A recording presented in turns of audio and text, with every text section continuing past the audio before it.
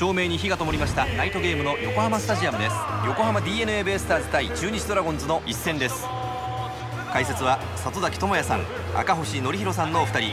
実況は三橋大輔でお伝えしていきます。お二人どうぞよろしくお願いします。よろしくお願いします。赤星さん今日のゲームどの選手がキーマンになりそうですか？そうですね。クリーンアップが両チームともいいですからやはり2番の役割が大きくなってきますよね。なるほどつなぎの2番注目です。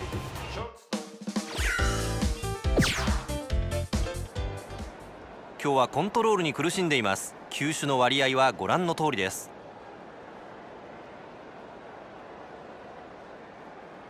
さあ里崎さんここで変えてきましたね。まあここは落ち着いて対処していってほしいですよね。そうですね。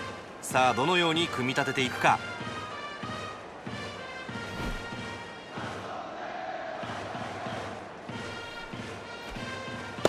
初球ボール。これが2球目。ファウルになります。ワンボールワンストライクです。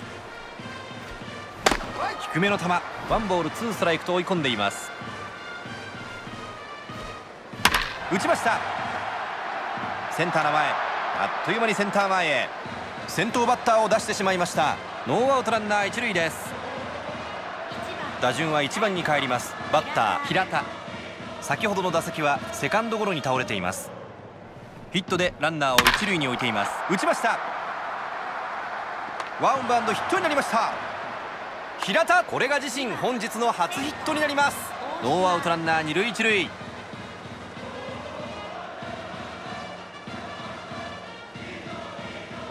ここはゲッツを取りたい場面ですよね。なるほど。そういった攻め方をしていけるかどうか。ジャストミート。この打球は落ちそうだ。落ちた。ヒットになる。先制のランナーが三塁を回った。セカンドランナーホームイン。一塁ランナー三塁も回った。これはどうだ？ファーストランナーもホームイン。バッターランナーは三塁到達。ドラゴンズ先に点を取りました。2対0になりました。ベイスターズさらにピンチは続きます。D n a ベイスターズ痛い敗戦となってしまいました。とても緊張感のある引き締まった内容となりました。あと一歩と残念ではありましたがいい試合だったのではないでしょうか。明日以降巻き返しに期待したいと思います。勝ったドラゴンズ接戦をものにしました。一方の d n a ベイスターズですが痛い敗戦となってしまいました。ご覧のように今日のゲームは d n a ベイスターズ敗れてしまいました。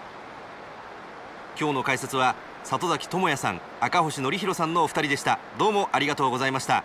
ありがとうございました。この辺りで横浜スタジアムから失礼いたします。本日は最後までご観戦くださいまして誠にありがとうございました。お帰りの際にはどちら様も落とし物お忘れ物など